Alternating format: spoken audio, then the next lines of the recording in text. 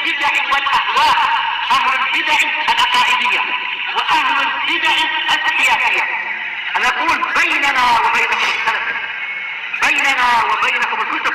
كان فيقول البدع بيننا وبينكم بسم الله الرحمن الرحيم. الحمد لله الذي أرسل رسوله بالهدى ودين الحق. ليظهره على الدين كله وكفى بالله شهيدا أشهد أن لا إله إلا الله وحده لا شريك له إقرارا به وتوحيدا. وأشهد أن محمدا عبده ورسوله صلى الله عليه وعلى آله وسلم تسليما مزيدا لا نبي بعده. Ikhwani fi-din, a'azzani wa a'azzakumullah jami'an wa barakallahu fiikum. Sebelum kita melanjutkan bacaan terhadap hadis sahih yang diambil dari kitab Riyadhus Shalihin seperti biasanya hadis yang pada pertemuan telah lalu kita setorkan terlebih dahulu satu hadis yaitu hadis keutamaan al-hubbu fillah. Hadis yang berkaitan masalah cinta karena Allah taala. Bukan karena dunia bukan karena harta bukan karena kedudukan tapi cintanya karena Allah Subhanahu wa taala dan sudah kami jelaskan bahwasanya kecintaan manakala dibangun di atas ketakwaan, dibangun di atas kecintaan yang benar, maka kecintaan tersebut akan langgeng dan terus sampai nanti di hari kiamat atau di akhirat. Kemarin disebutkan dalam bab tersebut hadis Anas bin Malik radhiyallahu anhu yaitu tiga perkara. Kalau ada pada seseorang maka orang tersebut akan bisa merasakan manisnya iman. Merasakan apa manisnya? Iman. Yang pertama orang yang menjadikan Allah dan Rasulnya lebih dia cintai daripada selain keduanya. Yang kedua orang yang mencintai saudaranya karena Allah Ta'ala bukan karena hartanya bukan karena jabatannya, bukan karena garis keturunannya. Yang ketiga adalah orang yang benci kalau seandainya kembali kepada kekufuran. Sebagaimana bencinya dia kalau dicampakkan ke dalam neraka. Tiga orang tersebut atau tiga kriteria tersebut kalau ada pada seseorang maka orang tersebut akan bisa merasakan manisnya iman. Setorkan seperti biasanya berbarengan. Tafadhalu.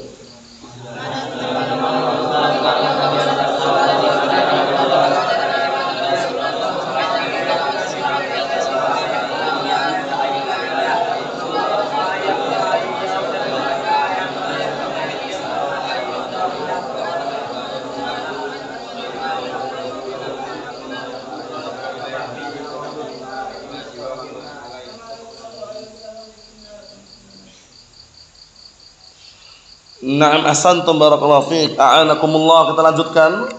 Qan'am. Ayyuba al-mar'ah La yuhibbu. illa lillah Naam. wa ayyakraha wa ayyakraha ayyuda fil kufri kama ya kama kama kama yudafa Kama yakrahu. kama yakrahu yudafa finnar Muttafaqun. Naam, ahsanta barakallahu fiik. A'anakumullah. Kita lanjutkan barakallahu yang berikutnya. Babu alamati hubbillahi ta'ala lil 'abdi. Masyaallah, ini bab lanjutannya ada kaitannya dengan sebelumnya. Jadi kalau seorang hamba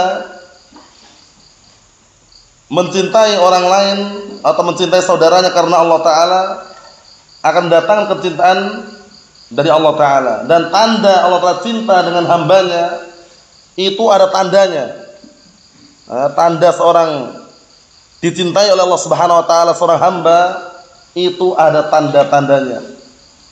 Kalau tanda yang nampak di dunianya barakallahu di antaranya apa? Hamba tersebut akan senantiasa diuji. Diuji oleh Allah Subhanahu wa taala ya Faham? Naam, karena ketika Allah Taala sayang dan cinta dengan hamba tersebut, nggak mungkin dibiarkan begitu saja. Tapi akan diuji. Perhatikan, akan diuji dengan ujian-ujian yang beraneka ragam. Kalau hamba tersebut ridho dengan ujian yang Allah Taala berikan kepadanya, Allah Taala pun akan meridhoi dia. Tapi kalau justru murka, tidak terima dengan ujian tersebut, Allah Taala pun akan berikan kemurkaan kepada orbut orang tersebut. Naam. Sebagaimana perkataan Nabi kita Muhammad alaihi salatu wassalam, "Innallaha azza wa jalla idza ahabba qauman ibtalahum, faman radiya falahu ridha wa man sakhita falahu sukht." Artinya sesungguhnya Allah Subhanahu wa taala kalau mencintai suatu kaum menguji mereka. Paham ya? Kalau mencintai suatu kaum menguji mereka.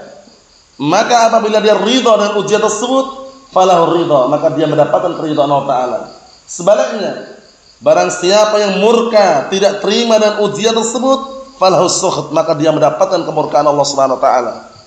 Itulah tanda seorang hamba dicintai oleh Allah taala, hamba itu akan diuji. Jadi kalau antum mendapatkan ujian, jangan merasa wah, jangan-jangan Allah Taala benci. Jangan-jangan Allah taala nggak suka. Jangan-jangan Allah taala menakdirkan kita ini orang sengsara, jangan gitu. Kita nggak boleh selama kita di atas al-haq, di atas Al-Qur'an was sunnah, di atas kebaikan, maka jangan pernah berburuk sangka kepada Allah taala. Paham ya? Harus berhusnudzan billah, berbaik sangka kepada Allah taala karena ujian yang kita hadapi selama kita di atas al-haq, di atas Al-Qur'an sunnah, ujian tersebut menunjukkan cintanya Allah taala kepada hamba. Paham ya? Hamba ini berhasil nggak melalui ujian tersebut. Dan ujian barakallahu fiik itu bisa berbentuk salah satu dari dua perkara. Pertama, bentuknya kekayaan. Kedua, bentuknya adalah kemiskinan. Orang kadang-kala miskin, eh, itu bukan berarti Allah Taala apa? benci. Paham ya? Itu ujian. Sabar nggak orang tersebut dengan ujian tadi? Orang kemudian kaya, kaya raya, itu bukan berarti wah orang ini eh, pasti selamat tidak itu juga ujian bersyukur enggak dia dengan kekayaan tadi itu? Mafhum? Makanya sampai para ulama mereka silang pendapat mengenai apa? Eh, al-ghani syakir dengan apa? Al-fakir sabir. Orang kaya tapi bersyukur dengan orang fakir tapi sabar. Paham ya? Coba lebih utama mana? Silang pendapat panjang lebar kesimpulannya inna akramakum indallahi atqakum. Sesungguhnya tolak ukurnya adalah ketakwaan. Tapi dengan dalil yang lain yang sudah antum lewatin barakallahu fiik, nanti di akhirat jarak orang-orang kaya dengan orang miskin ketika masuk ke surga duluan mana? Orang-orang miskin terlebih dahulu. Bayangkan itu. Berapa jaraknya kemarin? Jaraknya antara orang miskin dan orang kaya berapa eh, berapa tahun kemarin? Esan Berapa tahun kemarin hadis sudah kita lewati kemarin? Hah? Itu neraka sebenarnya khalifah itu. Jaraknya berapa kemarin? Abdurrahman? Hah? 500 tahun jaraknya. Bayangkan itu. Berikan duluan orang orang-orang miskin. Kenapa? Karena orang-orang kaya itu banyak hisapnya itu loh. Paham ya? Hartamu sebanyak ini dari mana? Antum apakan? Kemudian dari mana kamu mendapatkannya gitu? Nah, barakallahu fiik. Ini sekedar selingan seputar ujian barakallahu fiik. Jadi seorang hamba ketika diuji bukan berarti dia dibenci, bukan berarti dia dicampakkan, bukan berarti dia jelek. Paham ya? Bisa jadi ujian itu tanda sayangnya Allah Taala kepada hamba tersebut. Cuman di balik ujian ada dua kemungkinan, imar ridho, imam murka. Kalau ridho dia mendapatkan apa? Keridhaan Allah taala. Kalau murka dia mendapatkan kemurkaan Allah Subhanahu wa taala. Kadang-kala orang kan diuji, sakit, letih, paham ya, pusing kepalanya, migrain misalkan. Itu ujian. Kalau antum bisa menghadapinya, ridho, pasrah, terima apa yang Allah Taala ujikan kepada antum dan kita semuanya, ridho yang kita dapatkan.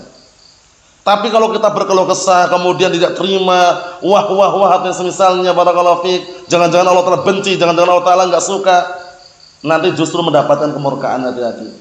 Paham ya? Naam. Karena sebutkan dalam hadis hatta syaukah yusakuha sampai duri yang menusuk dia itu ada hikmahnya di balik tusukan duri tadi.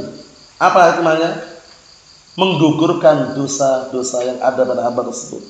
Walaupun dosa-dosa kecil tapi kan sudah digugurkan kalau dia mau bersabar. Paham ya? Ketika timpa duri tadi. Nah, kita baca di sini hadisnya, kita ambil satu aja. An Abi Hurairah radhiyallahu anhu, "An Nabi sallallahu alaihi wa ala alihi wasallam, qal, "Idza ahabba Allah al-'abda, nada Jibril, inna Allah yuhibbu fulanan, fahbibhu." Disimak ya, biar besok kalau ngafalkan enggak keliru bacaannya.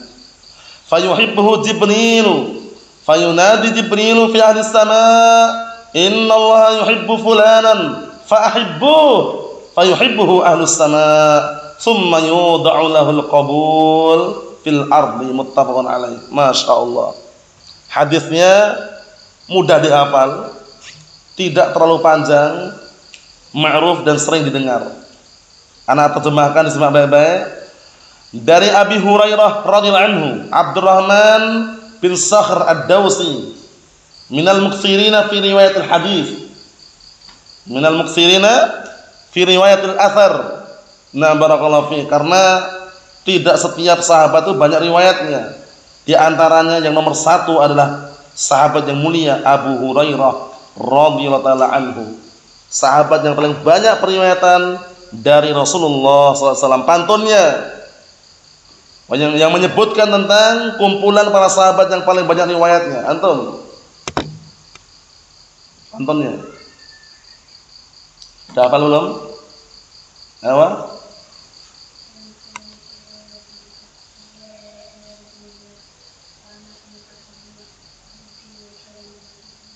Naam. Wal muksiruna fi riwayatil asar Abu Hurairah tayalih Ibnu Umar wa Anas bin Habruk al-Khudri wa Jabirun wa zaudatun nabiyyi itu kumpulan para sahabat yang paling banyak periwayatannya dari Rasulullah SAW qala beliau bersabda, "Idza ahabballahu al-'abda" apabila Allah Taala mencintai seorang hamba, nada Jibril. Allah Taala memanggil Jibril, "Innallaha yuhibbu fulanan." Sesungguhnya Allah Taala mencintai si fulan, fahbibhu, maka cintailah dia. Allah Taala menyeru, memanggil Jibril mengatakan sesungguhnya Allah Taala mencintai si fulan, cintailah dia. Fayuhibbu Jibril akhirnya Jibril pun mencintainya. Fayunadi Jibril fi ahli sama. Kemudian Jibril menyeru, memanggil penduduk langit. Innallaha yuhibbul fulanan. Sesungguhnya Allah Taala mencintai si fulan. Fa'ahibbu, maka cintailah dia. Jibril nyuruh penduduk langit mencintai si fulan dari itu. Fayuhibbuhu ahlus sama. Kemudian penduduk langit mencintainya. Ingat-ingat artinya ya. Jadi kalau menghafal hadis atau Al-Quran itu kalau tahu artinya mudah. Kalau nggak percaya buktikan. Dengan antum tahu artinya itu lebih mudah daripada nggak tahu artinya. Kami makanya kalau ada arti-arti seperti itu dikondisikan. Summa yudha'lahul qabul fil ard. Kemudian diletakkan untuk orang tersebut penerimaan di muka bumi. Maksudnya maksudnya bagaimana? Maksudnya orang-orang yang ada di bumi menerima dia, senang dengannya, cinta dengannya, Mafhum? Nah, seperti itu. Orang yang baik, orangnya alal khair, orangnya alal haq. Paham ya? Orangnya di atas apa? Na'am barakallahu fi kebenaran, istiqamah di atas Al-Qur'an was sunnah. Naam seperti itu. Syahidnya barakallahu fi wa Allah taala memiliki sifat cinta. Namun ingat, cintanya Allah taala beda dengan cintanya makhluk. Kalau makhluk itu cinta karena apa? Adanya ah, butuhnya kepada orang yang dia cintai. Tapi Allah Ta'ala ketika mencintai hambanya bukan berarti butuh dengan hamba. Faham ya? Nah, kalau manusia si fulan cinta dengan si alam. Karena ada yang dicintai, ya enggak? Nah, barakallahu fik. Maksudnya butuh terhadap sesuatu. Tapi Allah Taala ketika mencintai hambanya bukan berarti Allah Taala butuh dengan hamba tersebut. Mafhum? Nah, barakallahu fik seperti itu. Karena cinta kalau yang ada pada manusia itu adalah sesuatu yang muncul dalam hati. Namanya yang dengan kecintaan yang dimunculkan dalam hati tadi itu akhirnya apa? Akan apa? Eh, akan ditampilkan dengan gerakan-gerakan dari anggota badan. Mungkin dia ngasih hadiah, memberikan nasihat, memberikan apa? wejangan, memberikan arahan. Itu karena apa? Cinta. Mafhum? Naam. Kemudian barakallahu fiik wa di sini Allah taala ketika mencintai hambanya tidak membiarkan begitu saja, tapi nyuruh Jibril agar mencintai hamba tersebut. Kemudian Jibril alaihissalam menyambungkan lagi. Nah, agar penduduk langit juga mencintai orang tadi yang Allah telah cintai. Paham ya? Kemudian Allah telah letakkan penerimaan di muka bumi. Orang akan apa? Cinta dan senang dengan orang tadi. Diterima oleh penduduk bumi. Mahfum salah ya? Naam. Kemudian dalil yang menunjukkan Allah Taala juga memiliki sifat cinta di antaranya perkataan Allah Subhanahu wa taala, "Qul in kuntum tuhibbunallaha fattabi'uni yuhibbukumullah." Katakanlah jika kalian mencintai aku, maka ikutilah aku. Ikuti, ikuti Rasulullah SAW. Yuhibbukumullah niscaya Allah Taala akan mencintai kalian. Mafhum? Naam. Kemudian juga dalam hadis yang lain, la'tiyanna rayata ghadan rajulan yuhibbullaha wa rasulah wa yuhibbuhullah wa rasuluh. Sungguh besok akan aku berikan bendera ini kepada seorang lelaki yang dia mencintai Allah dan Rasulnya dan Allah dan Rasulnya mencintai dia. Siapa sosok lelaki ini? Ali bin Abi Thalib radhiyallahu anhu. Syahidnya mana? Allah Ta'ala mencintai dia. Berarti Allah Ta'ala memiliki sifat cinta. Mafhum? Na'am barakallahu fiik. Ikhwani fi din azza wa barakallahu fiikum. Kemudian yang bisa dapat yang bisa diambil faedah dari hadis ini juga ketika Allah Taala telah meletakkan penerimaan untuk penduduk bumi terhadap orang tadi maka orang tadi pun na barakallahu fiik akan dihormati, disayangi, dicintai oleh manusia-manusia yang lain. Kemudian ketika manusia sudah mencintai dia, menghormati, memuliakan dia, tentunya dia akan mendapatkan kenikmatan tersendiri di situ. Beda kalau orang membenci, memusuhi, nama atau yang semisalnya. Dan diletakkan di sini bab tanda cintanya Allah Taala kepada hamba. Jadi tandanya Allah Taala nggak diam, tapi menyampaikan kepada Jibril. Jibril menyampaikan kepada penduduk langit. Kemudian Allah Taala letakkan enam penerimaan untuk penduduk bumi agar menerima orang tadi. Masya Allah. Allah alam suap ini yang kita ambil. Semoga bisa dipahami dan dimengerti dan bisa dikondisikan pendek tidak panjang disetorkan pada pertemuan yang akan datang insyaallah taala alhamdulillah